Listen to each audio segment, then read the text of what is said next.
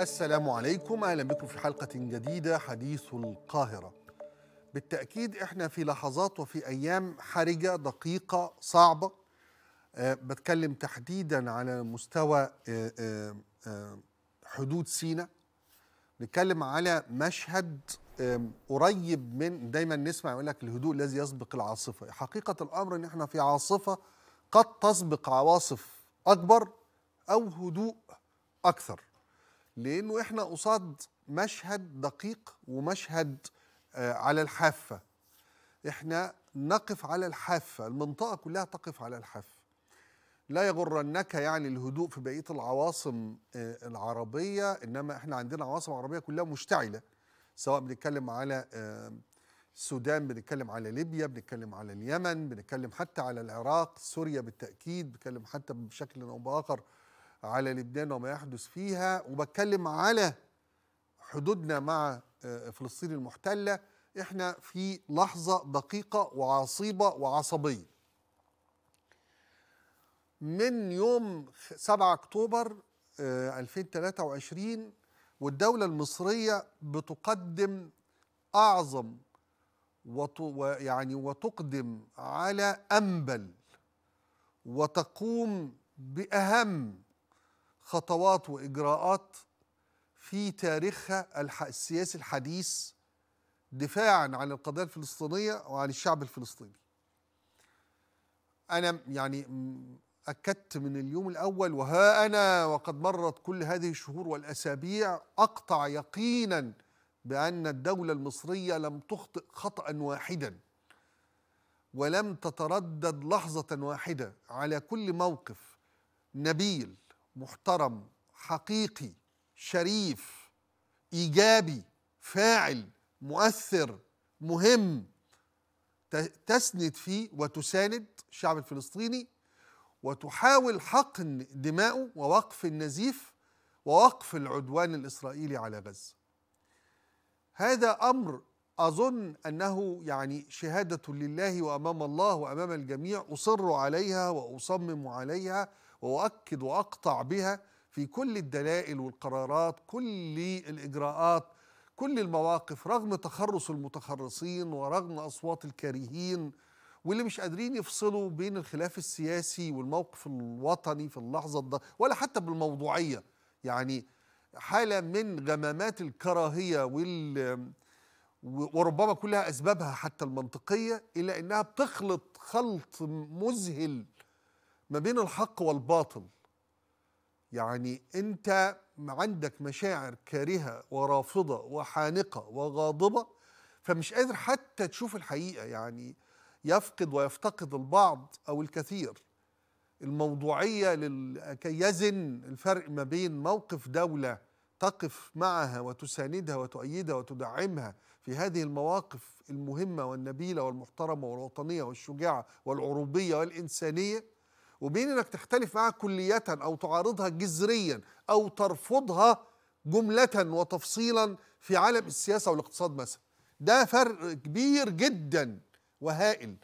بقول ده علشان اليمين الإسرائيلي من يوم 7 أكتوبر مع حماس والإخوان من يوم 7 أكتوبر هدفهم رغبتهم خطتهم رقم واحد توريط مصر. رقم واحد. في خطة آه، إسرائيل اليمين الإسرائيلي نتنياهو سمتر شباو بن خفير وكل يعني مجموعة الإجرام المشتركة دي وحماس ومن وراءها المشروع الإيراني والداعم الإيراني وتيار الإسلام السياسي خطة الاثنين إذا لم يكن الهدف رقم واحد فهو رقم اثنين مثلا لكن مستحيل يبقى رقم ثلاثة توريط مصر. إما بنزوح آه، قطاع واسع من الشعب الفلسطيني مئات آلاف ولا عشرات آلاف إلى سيناء وبطبيعة الحال في صورة الخطة الإسرائيلية أن يتم التوطين والدفع إلى أنه مصر توافق على هذا المشروع آه، اللي فيه تصفية للقضية الفلسطينية. من الناحية التانية حماس نفسها في النزوح علشان تورط مصر وعلشان تمد آه، آه، الأزمة إلى الأراضي المصرية وعشان تحقق مشروع الإسلام السياسي في آه، إنهاء أي قضايا فيها تسوية أي مشاريع فيها سلام أي تسوية في المنطقة. وتوريط مصر سياسيا واقتصاديا ويعني وداخليا. فده هدف لدى الطرفين اللي هم بيضربوا بعض.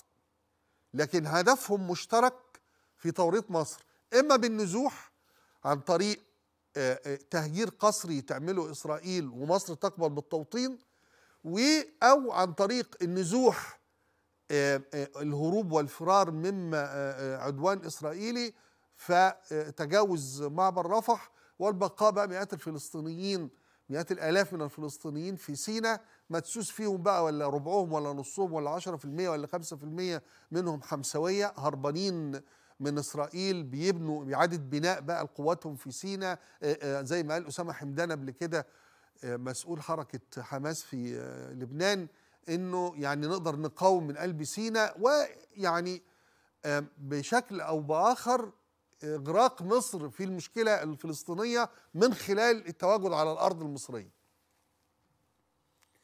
ده مشروع الإسلام السياسي ومشروع اليمين الإسرائيلي الصهيوني الديني.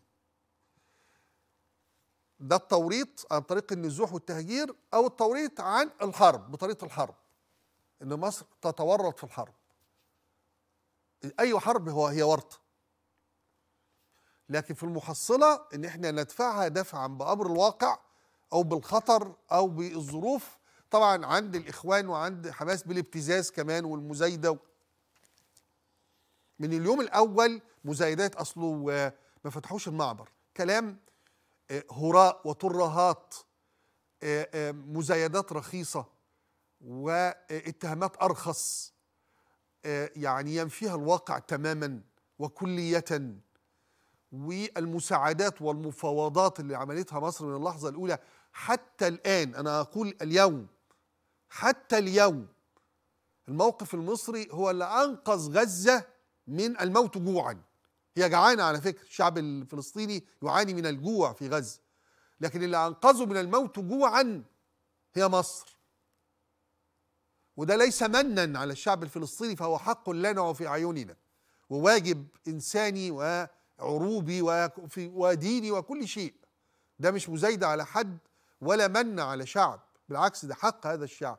لكن مصر لم تتوانى إطلاقا وكلية رغم كل الاتهامات الرخيصة والمزايدات الأرخص ورغم كل العفونة اللي بينطق بها ويتحدث بها ويتكلم بها ويمارسها تيار الإسلام السياسي إخوان مسلمين ولا حمسوية أو حتى شخصيات وجماعات ومجموعات مصرية كارهة للنظام فبتحول هذه الكراهية إلى حالة من بث ويعني وتنفيذ بالكراهية والعدوان والعنف في الاتهام المتوالي والمتتالي على الدولة المصرية بأنها خانت أنها باعت أنها آه، حايدت أنها كل هذه الاتهامات اللي بقول لك إن الواقع يثبت عكسها تماما وينفيها كلية لكن جنون الكراهية يصل بالبعض إلى إنكار الحقيقة التي لا يمكن بأي حال من الأحوال الطعن فيها ما بالك بقى بنفيها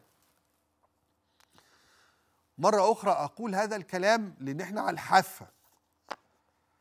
فتصور أنه مصر أي نوع من الاشتباك أي درجة من درجات الحرب والاشتباك اشتباك والحرب حرب يعني. قرار الحرب لو اتخذ فهو قرار من رئيس مصر وجيش مصر قرار مصري. لا بيتفرضوا ابتزازات جهة ولا ضغوط آه، حد ولا سعي للرد على مزايدات ولا من أجل إثبات يعني صلابة الموقف المصري وقوته. أي موقف عسكري هتاخده مصر إن اتخذته هيبقى للدفاع عن السيادة الوطنية المصرية. هيبقى دفاع عن الحدود المصرية. إحنا مش هنحارب عشان خاطر حماس وأحلامها ومشروعاتها وخططها. ولا هندخل أي قرار حرب عشان مزايدات الكارهين والناقمين والغاضبين على النظام. أي موقف هتتخذه القيادة المصرية هو موقف بناء على مصلحة السيادة الوطنية المصرية ودفاعا عن أرضها وحدودها. بقول ده ليه؟ بقول ده مرة أخرى أنا لست عسكريا ولا يجب أن أتحدث لا يجب أن أتحدث بما لا أعلمه. فأنا لا علم لي بالخطط العسكرية ولا بقدرات تحركات الجيوش ولا مواقع الإنزال ولا ظروف المواجهات ولا يعني هذا الأمر ليس اختصاصي ولا يصح أن يتورط المرء في نقاشات عسكرية ليس أهلا لها وغير جدير بالنقاش فيها.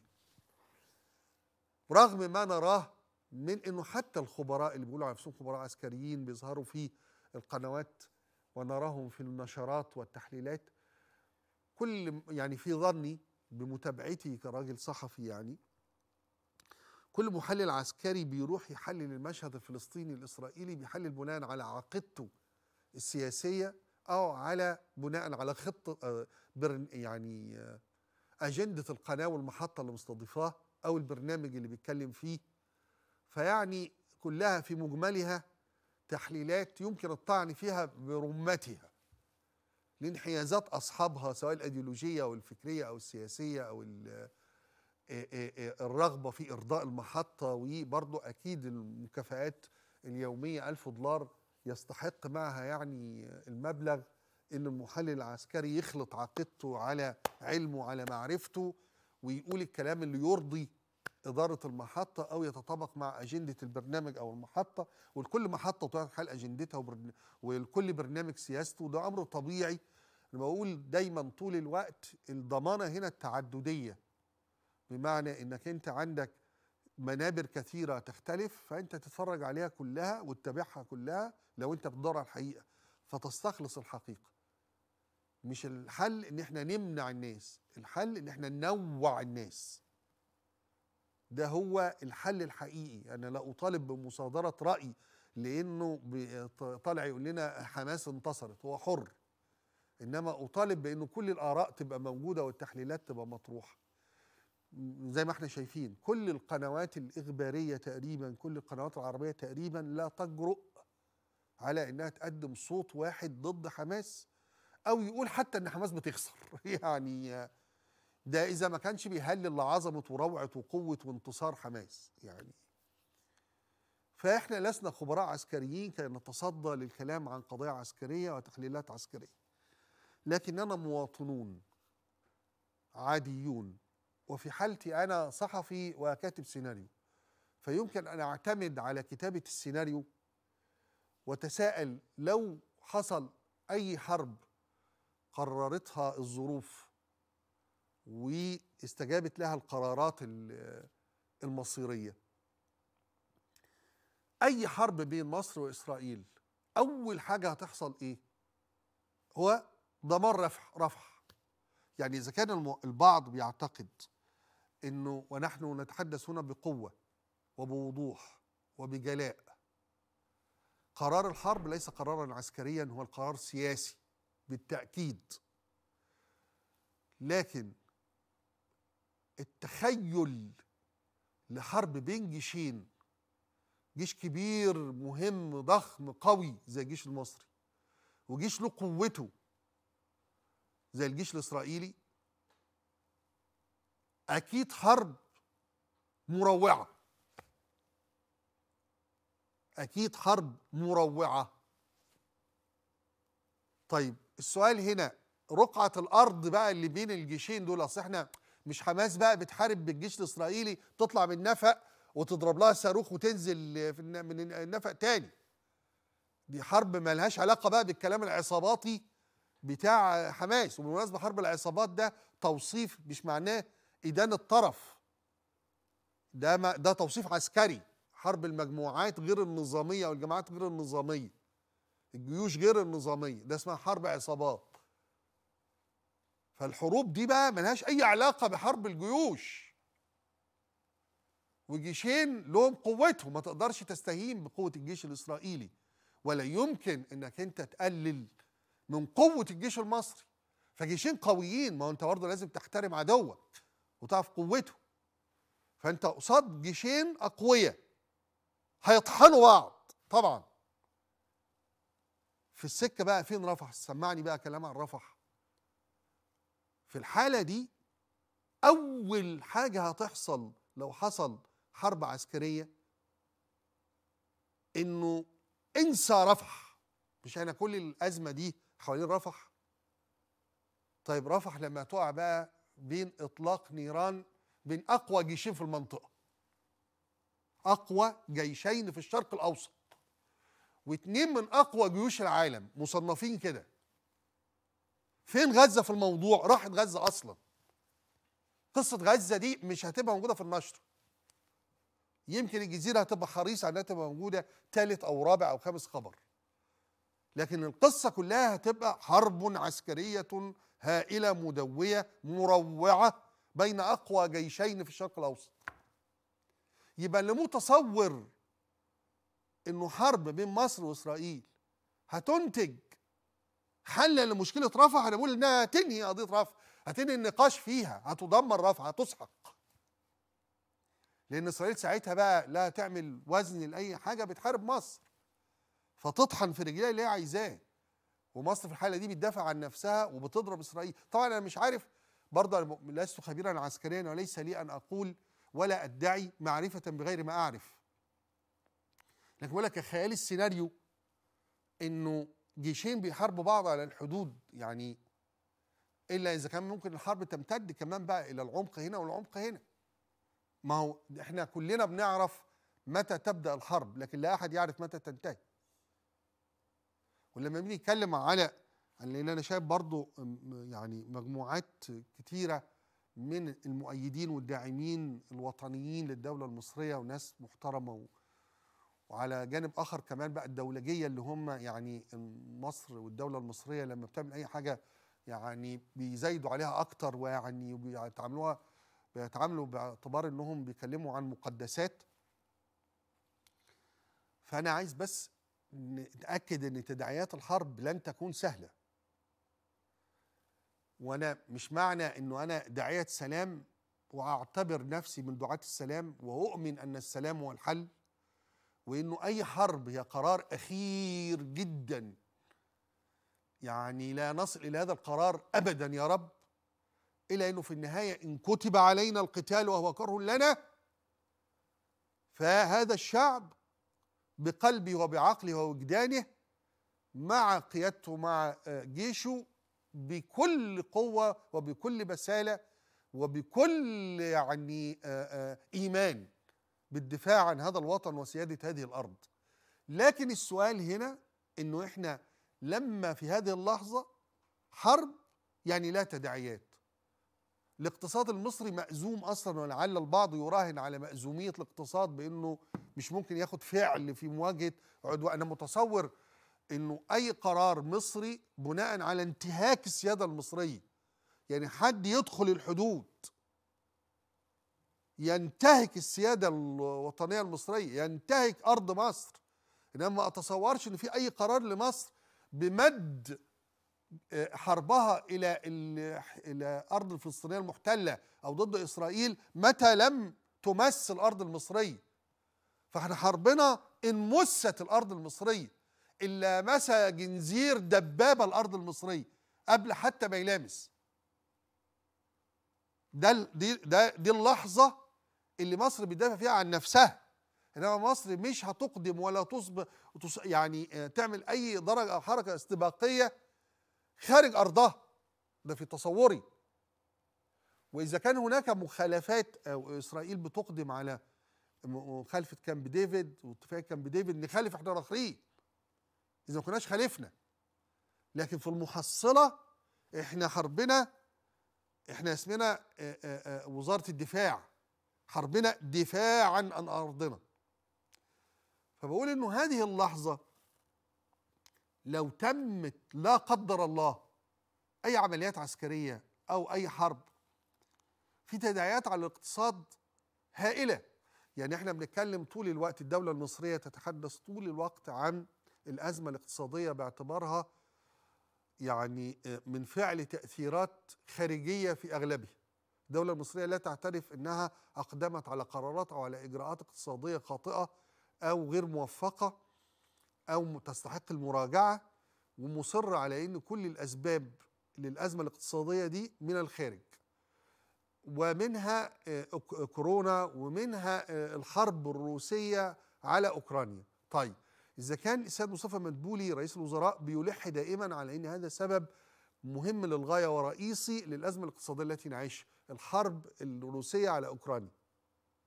ما بالك بقى بحرب مصرية إسرائيلية؟ هتعمل إيه في الاقتصاد؟ يعني إذا كانت حرب على بعد آلاف الأميال بينا منا أثرت على الاقتصاد كده. ما بالك بقى بحرب في قلب بلدنا أو على حدودها؟ هتأثر إزاي في الاقتصاد؟ ساعتها بيبقى اسمه اقتصاد حرب.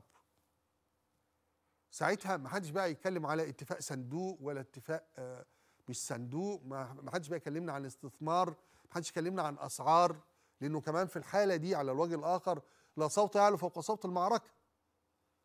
فما حدش بقى هيبقى يسمح لنفسه أو يسمح له غيره. إنه ينطق في موضوع خارج إن بلد في حرب. فبلد في حرب يعني خلاص بلد في حرب. احتمل بقى اقتصاديا. احتمل أزمتك اللي هت... اللي هتزيد. وما تسألنيش عن سعر الدولار. مش محدش هيسمع الكلام ده أصلا.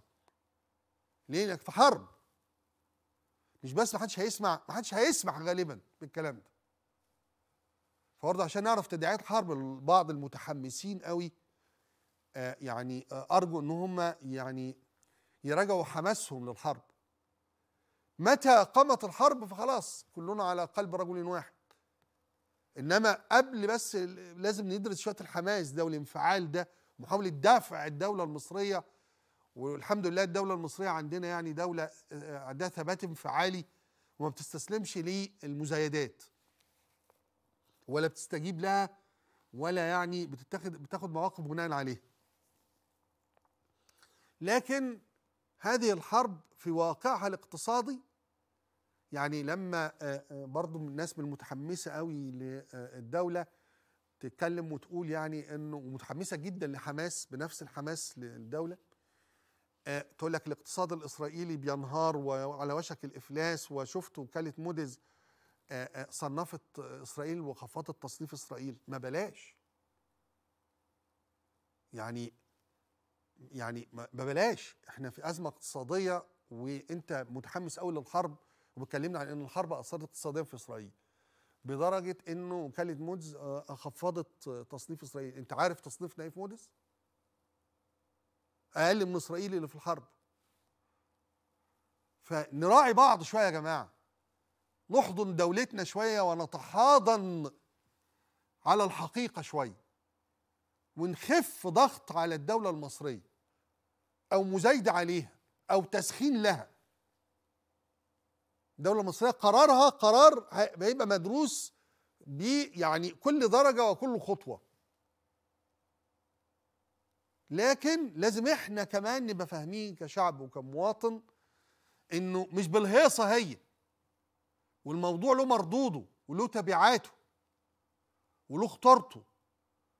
ومالوش توقيته. يعني محدش عارف ده يودي الامتى فين. وعشان كده قرارات الحروب هي أخطر قرارات في تاريخ الشعوب. وعشان كده ما ينفعش تتعمل بالانفعالات ولا بالحماس المفرط. ومحدش يقيس وطنيته بدرجة الحماس لأن بلده تخش حرب. دي مش وطنية. دي درجة من درجات الانفعال النفسي اللي يستحق بعض الهدوء والت... ويعني والتروي. دع قيادتك تتخذ قرارها قيادتك السياسية تتخذ قرارها في الحرب الاشتباك أو عدم الاشتباك بدراستها للموقف ولتداعياته. مش بالرأي العام وعندنا الناس عايزة تحارب. يعني هذا لا يمكن أن يكون في مدخلات الدولة المصرية.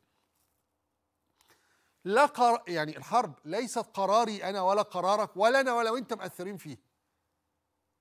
لن نؤثر فيها في القرار, في القرار ده اطلاقا. لأن الرأي العام المصري غالبا لا يؤثر في أي قرارات للدولة المصرية. سلما وبالتأكيد حربا.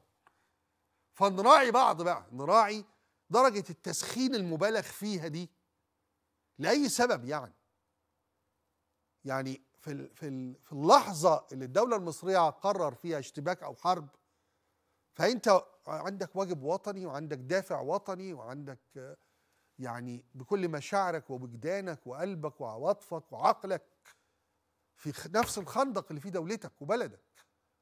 لكن لغاية ما نوصل للموقف ده ده الموقف ده بقرار الدولة بقرار رئيسها. مش بانفعالاتنا ولا التسخين على بعض ولا المزايدة على بعض. مرة أخرى بطريقة الخيال السياسي يعني أي حرب بين مصر واسرائيل فضلا على تداعياتها على المنطقة أول شيء فيه ما فيش مساعدات لغزة. أول شيء أول رد فعل هيحصل عدم قدرة أي يعني شاحنة على المرور والدخول في ميدان قتال. ما حرب ده هتبقى جبهة معركة. شاحنات إيه اللي هتخش؟ أنا عشان كده بقول إنه اللي قاعد يرفع من درجة التسخين دي محتاج إنه يراجع نفسه. لو هو بيتكلم عن القضية الفلسطينية وزي ما قلنا مساس مش مساس اقتراب للمساس. بالسيادة الوطنية المصرية أو بالأرض المصرية ده يعني دونها الحرب. لن يسكت الجيش المصري لو يعني في جنزير دبابة ولا طلقة مدفع اخترقت الحدود المصرية. دي قصة منتهية محسومة مقضي بها. لا عايزة تسخين ولا عايزة تجهيز ولا عايزة إيه أي حاجة برأي العام. إنما اللي بيتكلم على إنه اللي طول من يوم 7 أكتوبر عايز يدخل مصر الحرب. واللي شايف إنه وسايبين غزة لوحدها وسايبين ال. طيب يعني السؤال هنا أنت عارف لما هندخل الحرب هيحصل إيه بالنسبة لقضيتك أنت؟ ده إذا كنت بتدافع عن فعلا عن القضية الفلسطينية أو بتدافع عن الشعب الفلسطيني.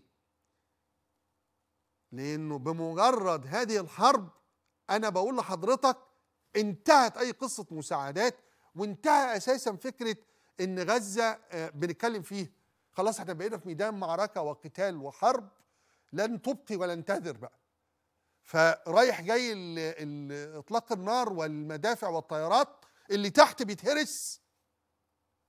إسرائيل بتهرس بقى وبتدمر في رفح وفي غزة وفي كله. خلاص بقى مش هتشوف قدامها عدو وحشي مجنون همجي.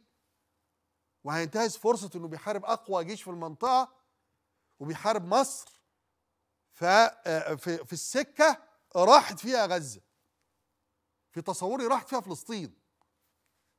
ده برضو لهؤلاء الذين يعني يدعون لأنفسهم دفاعا عن الشعب الفلسطيني. طيب. طب نعمل إيه؟ يعني ما الذي يمكن أن نفعله؟ آه. ما الذي يمكن أن نفعله مين الدولة المصرية الدولة المصرية بقول لك أهو رقم واحد من يوم 7 أكتوبر مواقفها في منتهى النصاعة والسطاعة والسطوع إذا كانت السطاعة دي عربيا يجوز لكن في منتهى السطوع والنصوع في إنها واقفة بتساند بكل قوة الشعب الفلسطيني والقضية الفلسطينية. طيب على الحاجة الثانية لو أكرهت على القتال لأن القتال كره لنا والحرب هتحارب. أدي الدولة المصرية. بس هتحارب عن إيه؟ دفاعا عن سيادتها دفاعا عن أرضها.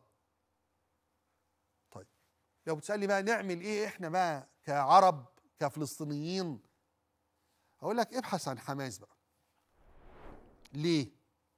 لأن حماس كل اللي بيحصل ده كل ما يحدث الآن من درجة التسخين دي ومن وصلنا للنقطة دي في الحرب إن إحنا بنتعامل مع طرفين.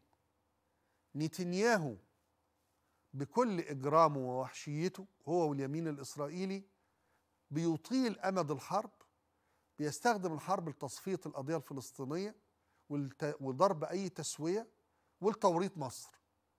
بحرب معاها أو توطين للفلسطينيين في سيناء. قصاد الطرف الآخر حماس اللي لها نفس الأهداف تطيل أمد الحرب تنسف أي تسوية سلمية أو أي سلام مزمع في المنطقة أو أي كلام عن دولة فلسطينية أصلا. رقم ثلاثة توريط مصر. فالاثنين بيحققوا أهدافهم. مين هيقول لهم وقفوا الحرب؟ ويوقفوها ليه؟ إذا كانت بتلبي كل أهدافهم. فيعملوا المفاوضات اللي بتديرها أطراف مصر وقطر وامريكا بتخش والرئيس المخابرات الاسرائيلي يعمل الاجتماعات بتاعه باريس مع الأجهزة المخابرات المصرية والأمريكية والقطرية. وينتهوا إلى اتفاق باريس. فالطرفين يرفضوه وكل واحد يعلي درجات الشروط بتاعته علشان الحرب تستمر وتحقق كل الأهداف. عشان كده الكلام برضو يعني المسكين اللي بيقعد يقول لك إيه؟ آه إسرائيل لم تحقق أهدافها ونتياهو لم يحقق أهدافه ولهذا فهو يشعر بالفشل. طيب دلوقتي نتنياهو قال إنه أهداف حربه على غزة القضاء على حماس القضاء على حكم حماس لغزة إعادة الأسرى أو الرهائن الإسرائيليين من غزة. كويس. عمل التلاتة؟ ما عملش التلاتة. لكن هو السؤال هو قال إمتى هيعملهم؟ ما قالش. هو أعلن أهداف وما قالش هيعملها إمتى؟ فعشان كده بيطول الحرب أهو. ما هو لسه ما حققش أهدافه. هو قال أنا يعني كل اللي يقعد يقول لك إسرائيل فشلت ولم تحقق أهدافها والحقيقة الأمر بيخدم نتنياهو. ليه؟ لأن نتنياهو هيقول لك ما أنا حققتش أهدافي فعلا.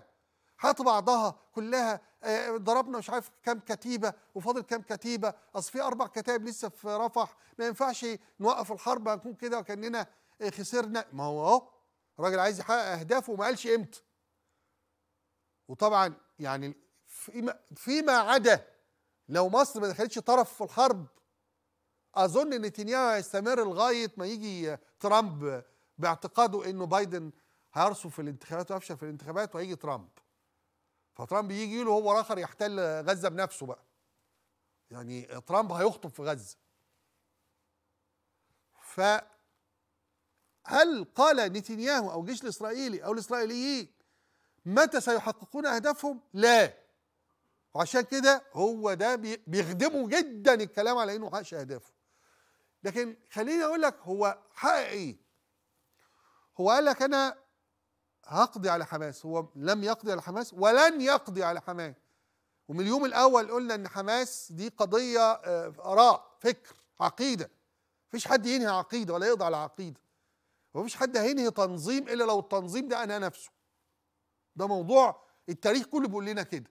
التنظيم ده السري ده أو التنظيم العلني ده أو التنظيم العسكري ده مش هينتهي ابدا إلا لو هو صفى نفسه. أعلن كده زي منظمة اتا الانفصالية زي مش عارف الجيش الأحمر الايه يعلن أو الجيش الإيرلندي يعلن إنه صفى نفسه وتخلى عن عقيدته أو تخلى عن برنامجه السياسي أو عن منهجه في العنف فيما عدا كده هتفضل حماس فيما طبعا هيفضل التفكير الأصولي والمتطرف وهيفضل المتصور إنه الحرب ضد إسرائيل هي حرب عسكرية ولن يعود الحق إلا بالعسكرية وكلام من ده. لن تنتهي حماس اطلاقا لا تنظيما إلا لو حلت نفسها ولا فكرة ولا عقيدة. إنما هو عمل إيه بقى آه نتنياهو؟ هو قرر أو قال إنه هيقضي على حكم حماس فقام قضى على غزة قضى على الحكم يعني كل الناس بتتكلم يقول لك اليوم التالي يعني لو تصورنا إن نجحت آه، آه، وساطات الغد بكرة في جاي رئيس المخابرات الإسرائيلي وجاي رئيس المخابرات الأمريكي هنا في مصر. وفي وساطات البعض بيعتبر إن كل اللي بيحصل ده يعني وصول الامر على حدود الحافة عشان يحصل تنازلات من الطرفين ونعرف نعمل اتفاق نحقن فيه دماء الشعب الفلسطيني. كويس لو تم ده براعة وإجراء سياسي ممتاز ونقدر نوصل فيه إلى إنه نوقف نزيف الدم. ماشي. لكن كل الكلام عن اليوم التالي بقى لو تصورنا إن بكرة بدأت الاحتمالات في النجاح للوصول الوصول لاتفاق جديد والأطراف وافقت عليه ووقف إطلاق النار. فيقول لك اليوم التالي بقى وإنه حماس من سيحكم غزة؟ يحكمها حماس طبعا. أنا بقول أهو أنا راجل شايف إن حماس دي جماعة غير وطنية. وعملت عملية في 7 أكتوبر عملية عدمية لا هي مدروسة ولا هي خطيرة رهيبة فظيعة ناجحة نجاح مبهر. كعملية إنما كتبعات وتداعيات كارثة على دماغ الشعب الفلسطيني. على دماغ الوطن العربي كله مصيبة سودة حصلت. على الأقل مورطانا في حرب أهي. نتمنى إن ربنا ينجينا منها. طيب من الحرب. ف يعني ده قناع قناعات فكرية يعني لدى المرء وآراء يعتقدها شخص المتواضع. مؤمنا إن حماس جماعة غير وطنية وجماعة أصلا لا ما هي مهتمة لا بفلسطين ولا بالقضية الفلسطينية ولا تساوي فلسطين عندها آه، سواك على رأي محمود الزهار. بس أنا بقول لك اهو لو وقف اطلاق النار حماس تكمل حكم الغزة. اصل مش معقول الدمار ده يعني هي لما آه، غزة اتدمرت. حماس بقى تتولى مسؤوليتها. يعني هي تدمرها. تجلب العدو الإسرائيلي بوحشيته وإجرامه وهمجيته. يدمر ويحقق مشروع اليمين الإسرائيلي ويدمر غزة. وبعدين تيجي تقول لي السلطه تحكم غزة. سلطة إيه يا عم؟ اتقى الله. نعمل اداره مش عارف إيه. يا عم هي حماس اللي تحكم. ورينا هتطلع الركام ده هتقوموا مباني تاني إزاي؟ ده من شروطها اللي هي مقدماها لإسرائيل في الاتفاق اللي ما نجحش ده إن هي تسمح بدخول ستين ألف خيمة. بلا ستين ألف خيمه بقى من شروطكم دخول خيم. ده أنتوا كنتوا هتحرروا لنا القدس. ده اسمه طوفان الأقصى. طوفان الأقصى انتهى اللي أنتوا عايزين تدخلوا خيم بتشترطوا دخول الخيام. إيه ده؟ دي عملية عدمية. خلت آه، آه، غزة إزاي؟ هقرأ لك من كاتب من كتاب المقاومة. يعني هو رأيه إنه أعظم حاجة حصلت 7 آه، أكتوبر وحاجات كده يعني. وبيتهم مصر وبينتقد مصر وبيهاجمها. في صحيفة لبنانية. لم يبقى في شمال غزة منزل أو منشأة لم تصبها قذائف العدو. بلدات وأحياء كبيرة دمرت عن بكرة أبيها. وفي الطرقات التي تقود إلى المربعات السكنية تنتشر الذخائر غير المنفجرة. وباتت أحياء كثيرة وكبيرة جدا خالية من الناس. فقط يمكن ملاحظة الكلاب التي تتنقل بين المنازل تبحث في بقايا جيف جثث يعني. بينما لا يمكن لمركبة أن تسير من دون مواكبة مسيرات الاحتلال. والناس الذين صمدوا في الشمال يتكدسون بعضهم فوق بعض في مدارس ومؤسسات مخلعة الأبواب والشبابيك تغرقها المياه وتلفها الرياح صبح مساء.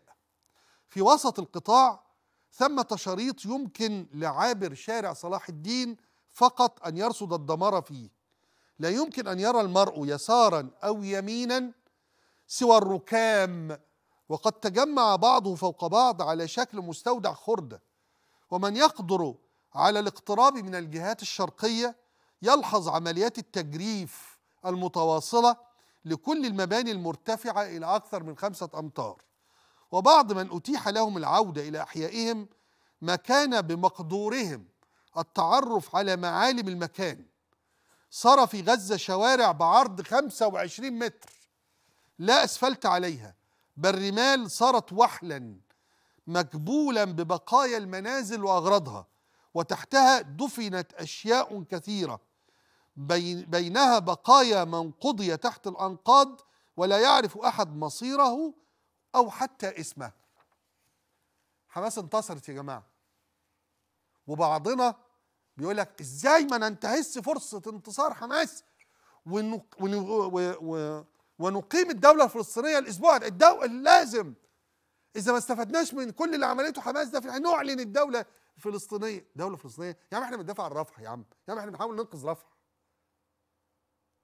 خلينا الدولة الفلسطينيه يتناقش فيها بعدين بس ننقذ بس المليون ونص دول اللي ممكن إسرائيل تدخل تفجر فيهم وحشيتها أو مصر يعني تدخل حرب. ننسى فيهم المليون ونص. هتقول لي دولة وتقول لي اصله حماس انتصرت. يعني إحنا دلوقتي بنتكلم في إن إحنا ننقذ رفح وتقول لي حماس انتصرت. يا حول الله يا رب. لو المضحك ان يقول لك حماس بعت لمصر ده صحيفة أمريكية بتقول بعت لمصر تقول إحنا نقدر ندافع عن رفح. تقدر تدافع عن رفح؟ ليه أنت كنت دافعت عن غزة؟ وإحنا شفناك في شمال غزة. انت ما سمعتش اللي إحنا قرأناه؟ أنت في النفق فمش شايف. هو أنت كنت دافعت عن شمال غزة؟ أنت خان يونس آه، آه، آه، أحياء في خان يونس تخاط فيها معارك شوارع وأحياء تانية اخليت من البشر. فمش عارف أي جرأة وشجاعة في إنك تقول أصل أنا ممكن أدافع عن رفح. وأنت كنت أنقذت فلسطيني واحد من النزوح من شمال غزة للجنوب إنما هم مصممين إنهم انتصروا خلاص يعني وشوية اليسار البعض اليسار يعني الحمساوي أكتر من الحمساوية. والحقوق بعض الحقوقيين برضو اللي شايفين في المقاومة الإسلامية آه، نبل الانتصار. شايفين منتصرين يعني أنت تقدر تقنع آه، شخص عنده عمى ألوان إنه الجرافطة اللي لونها أحمر دي هي أصلا أخضر؟ راجل معتقد يقينا إن اللي شايفه ده اللون الأحمر. لو قعدت تقول له إيه مش هتعرف تقول له الحقيقة إن ده جرافطة خضراء. مش هيقتنع عنده عيب خلقي. ففي عيب خلقي في الوعي. غمامة من العقيدة غمامة من المشاعر مش مخليها تشوف ده بتشوف انهيار غزة والدمار اللي حاصل والفجائع والمجازر شايفها انتصار لحماس. خلاص يا جماعة هنقول له إيه ده؟ يقول لك اصله المقاومة موجودة لسه على الأرض وحد قال لك هتمشي على من على الأرض. يعني أنت عايز تقنعني إن حماس اللي عاملة 600 700 كيلو تحت الأرض أنفاق؟ مش كانت منتظرة اليوم ده؟ أمال كانت بتعمل 700 كيلو ولا 800 كيلو تحت الأرض أنفاق؟ وبتستعد وبتجيب لها أسانسيرات للأنفاق دي. كانت بتعمل ده ليه؟ منتظرة اليوم اللي هتخش إسرائيل. ما هو أصله بتعمل أنفاق ليه؟ إلا اليوم اللي منتظرة فيه إسرائيل تخش غزة. هي عايزة إسرائيل تخش غزة. والمفروض إنها مستعدة وكانت بتتوعد إسرائيل لما تدخل غزة. وإنها لن تستطيع الدخول إلى غزة. دخلت إسرائيل غزة. وبترتع إسرائيل في غزة. وحماس آه، بتواجهها. كويس ممتاز. هو أنت منتظر ما تواجههاش يعني بعد كل اللي عملته ده كنتوا متصورين انه إسرائيل تدخل قوات احتلال وجيش احتلال. غزة آه، آه، الحمساوية ما يظهروش ما يواجهوش. ليه؟ ده, طبعا مصيبة. طيب واجهوا أنا طبعا أنا ما كنتش متصور إن إسرائيل هتخش بالسهولة دي لغاية وسط غزة وبتتكلم على داخله رفح. كنت فاكر يعني إنه في خطط عسكرية مدوية عاملاها حماس. طلع في الآخر يطلع النفق واعمل كمين. ده اللي ده اللي لكل يوم الاستعراض العسكري الفظيع الرهيب لانتصار حماس وقواتها الفظيعة. اعطبت ألف دبابة من يوم ما الحرب بدأت. موتت كل يوم مش عارف تموت 10 10 عساكر ولا ضباط إسرائيليين وبعدين؟ دي اسمها يعني حروب استنزاف دي عمليات استنزاف. وبعدين بقى يعني أوقفت الدمار أوقفت التخريب أنقذت الفلسطينيين خالص اطلاقا لا بس هو انتصر. معلش يعني خلاص هنعمل إيه؟ الله كريم. هم مصرين ومصممين ومعتقدين إنهم انتصروا. البلد متدمرة. وإسرائيل بتقول إنها هتدخل آه، رفح.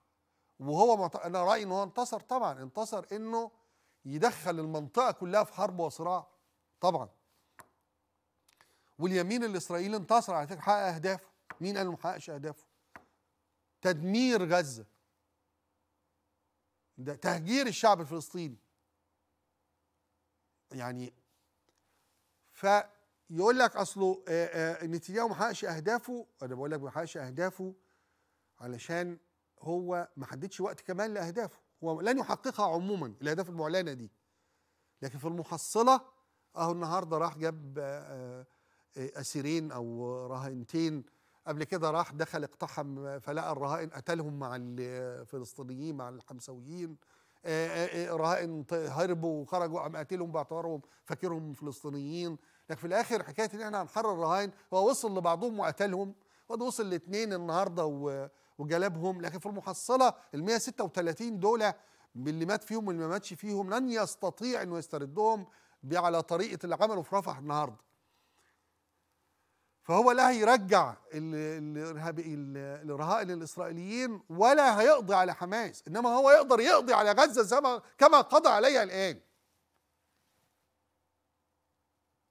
ف وبقول لك اهو أنا بقول إنه غزة لابد أن يحكمها تحكمها حماس بعد انتهاء هذه الحرب إن انتهت.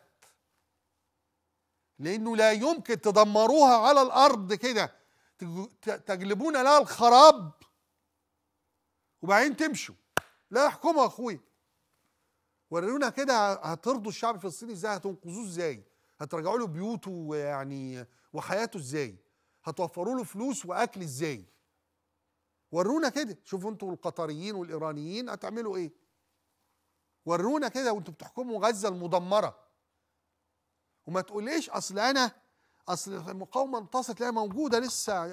يا جماعة إحنا انهزمنا في 67 وفضلنا موجودين يعني ما مشيناش. الجيش المصري فضل بس كان اسمها هزيمة.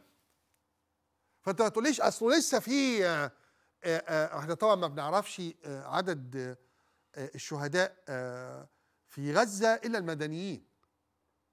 إنما من قتل في حماس محدش يعرف عشان معنويات المقاومة. إنما إحنا كل يوم بنتكلم على إسرائيل وهي بتعلن اتقتل عندها كام؟ كأن إسرائيل مش مهتمة بالمعنويات بتاعة جيشها.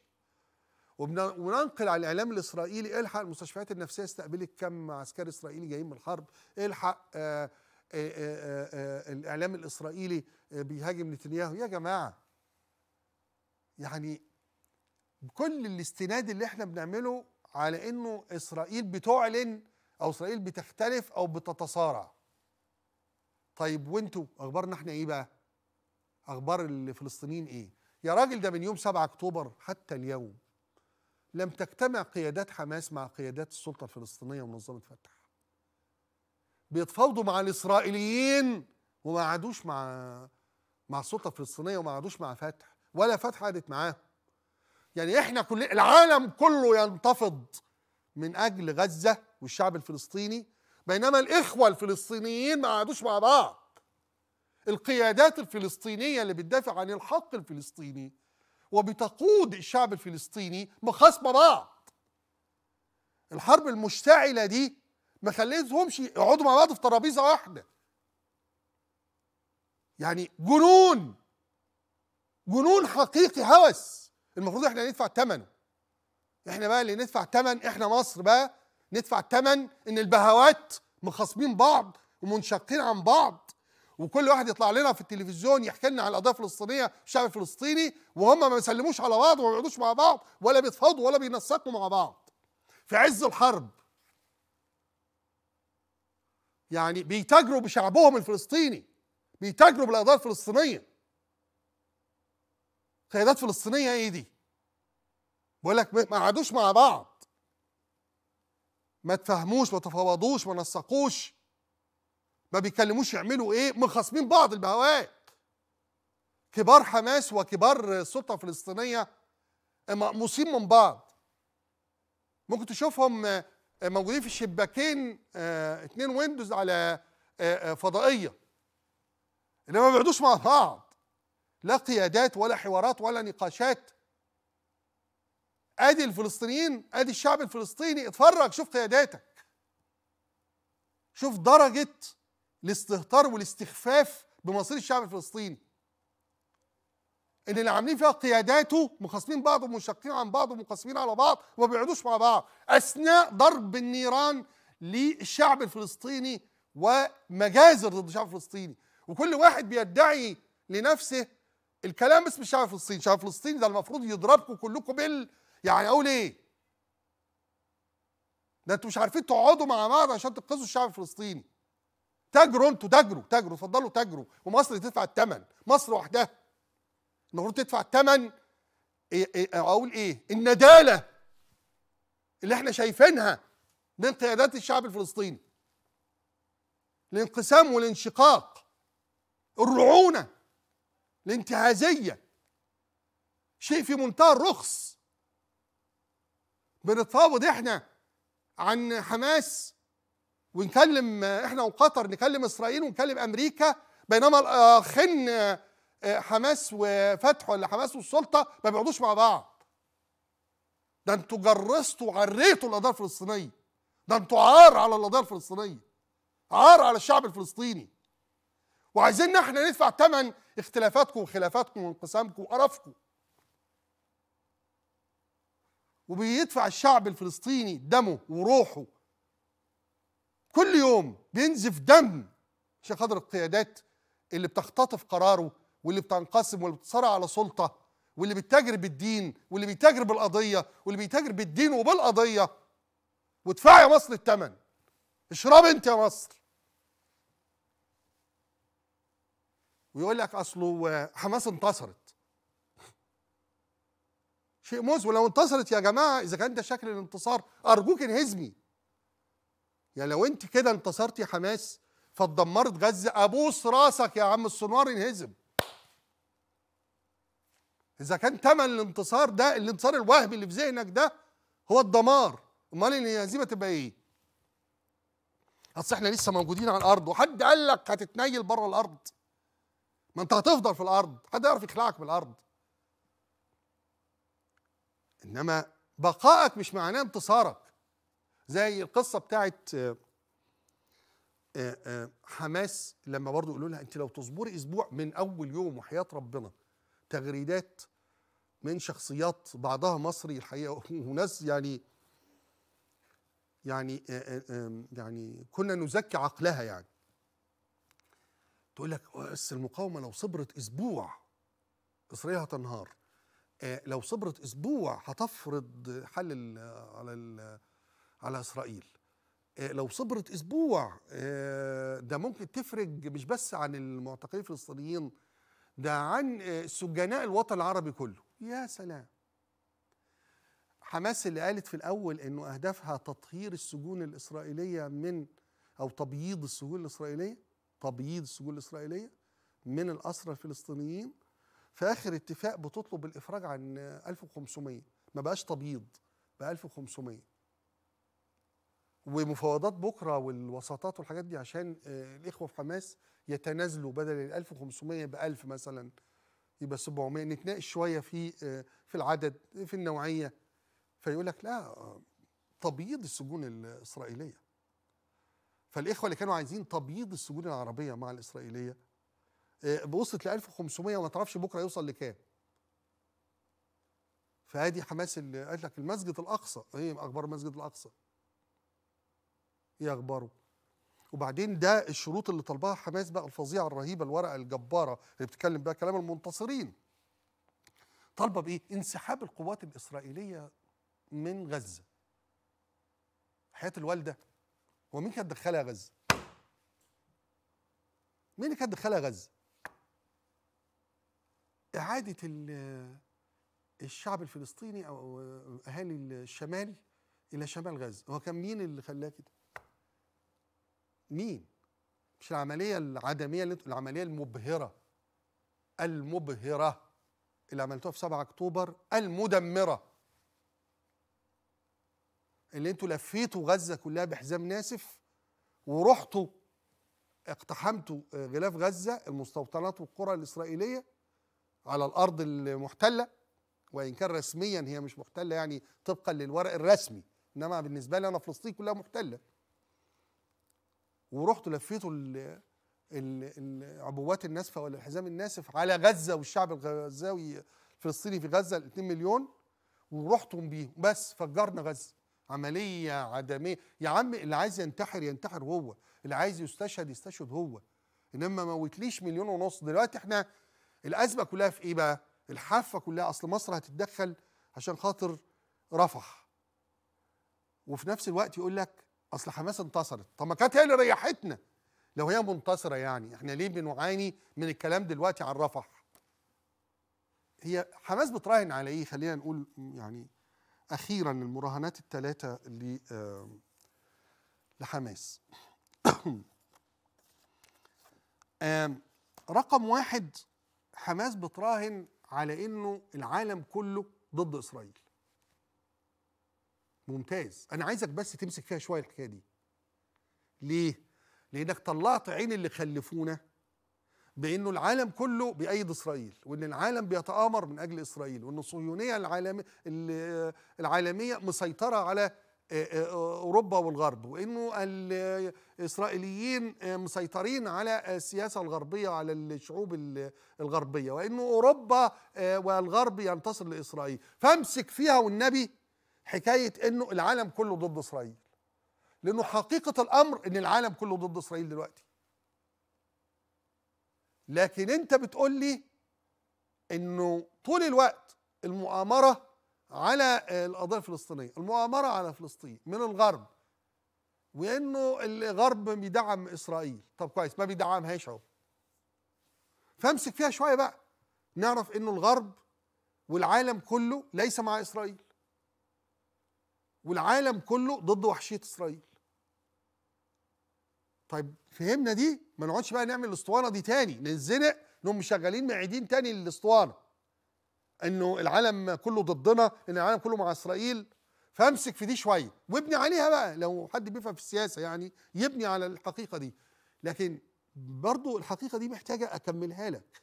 العالم كله ضد إسرائيل بس العالم كله مش عارف يعمل حاجة مع إسرائيل. اعملها دي بقى حطها عندك برضو في القايمة. انت رهانك على ان العالم كله بقى ضد إسرائيل وبيضغط عليها.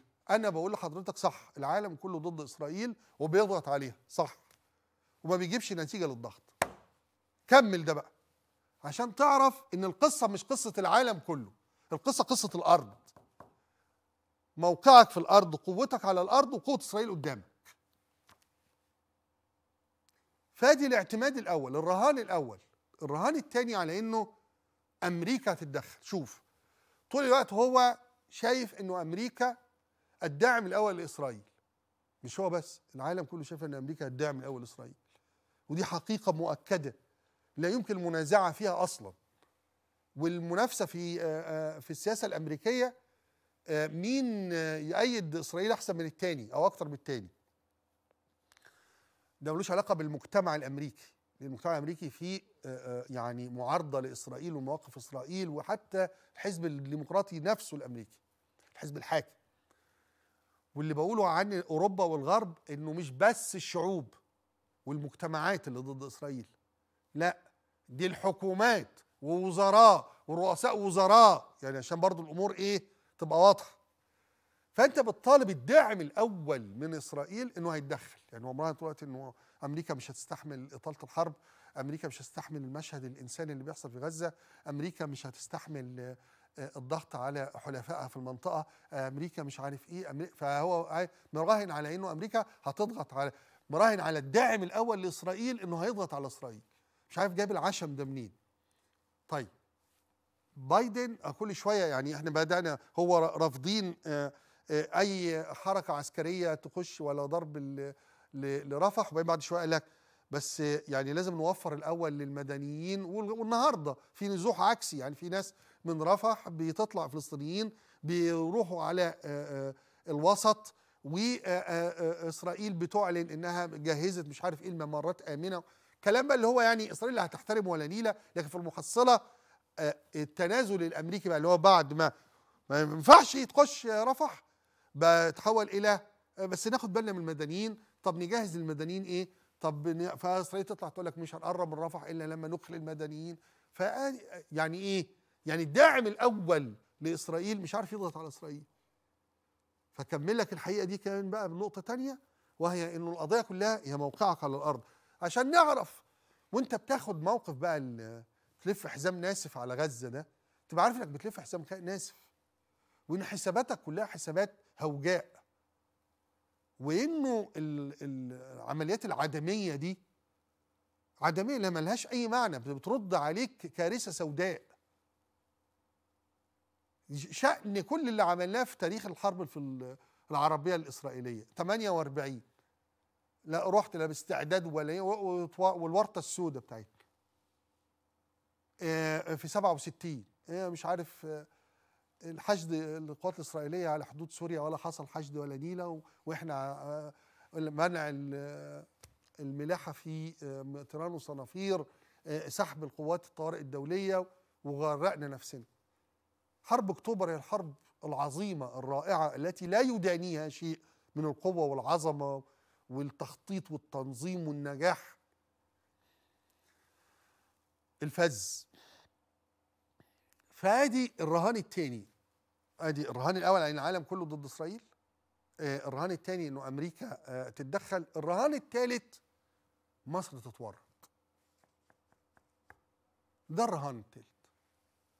إن إحنا نجر مصر للحرب. فلما نجر مصر للحرب ننهي فكرة التسوية السلمية طب يا أخي ما أنت هتنهي على فكرة الوساطة. لا هنعرف نعمل فوق إحنا بنحاربهم. إحنا بنفاوض عشانك في إيه؟ هتنهي وهتنهي المساعدات. إحنا بنحارب إسرائيل. لو دخلنا مساعدات للأرض المحتلة هتضربها إسرائيل. ما خلاص ما إحنا في حرب. هم يقربوا مننا هنديهم على دماغهم. هم ي... نحاول إحنا نوصل لكم هيضربونا. حرب يعني. فايه إيه المحصلة بقى فيها؟ بالنسبة للقضيه الفلسطينيه حضرتك بالنسبة للعملية الخطيرة الفظيعة الرهيبة اللي عملتها في 7 أكتوبر. وكل اللي إحنا فيه دلوقتي هو فكرة إنه يعني إنه آه، آه، آه، حماس شايفة إنها بتحقق أهدافها ومنتصرة فلن تتنازل. طبعا ما حدش طالب حماس اطلاقا بالاستسلام. ما حد يعني ما فيش مجنون هيقول لها استسلمي. حتى المجنون مش هيقول لها. حتى المجنون سياسيا مش هيقول لها. ولا يجرؤ إنه يقول لها ولا هي تجرؤ تستسلم بتستهبل. بعد كل اللي عملته ده وهتستسلم تبقى نصيبه سودة. إنما التنازل في المفاوضات يعني اللي بتاع المرحلة الأولى نأجلها للمرحلة الثانية حاجة كده. مفاوضات تنازلات عادية يعني. ما حضرتك تنازلت أهو من تبييض السجون الإسرائيلية إلى 1500 بس. يعني بعد ما كان 6000 بقى 1500 ف يعني انهي الحجج الإسرائيلية علشان خاطر إيه؟ ده بقى المطلب ال- العرب اللي بيقولوه اللي بالمناسبة المصريين والقطريين اللي بيقولوه الحماس عشان ندمر حجج إسرائيل وعشان ننقذ الدم الفلسطيني. فاظن إن إيران يعني مش معجبة بال- بإن إحنا ننقذ الدم الفلسطيني وأظن إن المخطط بإنه مصر تخش ده مخطط هم حريصين عليه أكتر من الإفراج على اسرى أكتر من إنقاذ الشعب الفلسطيني أكتر من القضية الفلسطينيه نفسها. ده موضوع يعني بالنسبة لهم هو الحلم الكبير لليمين الإسرائيلي والتيار الاسلامي آه، آه، الإخوانجي والحمساوي ومن لف لفه يبقى الأمر كله إنه مصر وحدها هي صاحبة قرار السلم والحرب ومصر وحدها التي تقرر بقرارها هو بأمرها هو باختيارها بإرادتها الحرة الكاملة الوطنية. ما يعني يدافع عن مصر؟ القرار الذي يحقق مصالح مصر ويدافع عن السيادة الوطنية المصرية القرار الذي تتخذه الدولة المصرية ويؤيده فيها وتؤيدها كل جموع الشعب المصري كل المواطنين. ونتحمل ساعتها بقى كل دعاة الحرب حين آذان الحرب نتحمل إن إحنا بقى في اقتصاد حرب. عشان كده يعني يجب على المصريين أن يدعوا الله سبحانه وتعالى أن يلهم هؤلاء الإرهابيين في كل مكان في العالم التوقف عن الإرهاب. ثم أن يدعو الحمساويين وحماس إنها تدافع عن الشعب الفلسطيني بوقف نزيف دمه. ويدعو إن الدولة المصرية يعني تصر وتصمم على ثباتها الانفعالي وعلى قرارها الوطني وعلى القدرة العظيمة على مساندة الشعب الفلسطيني والدفاع عن السيادة الوطنية المصرية. بعد الفاصل نلتقي.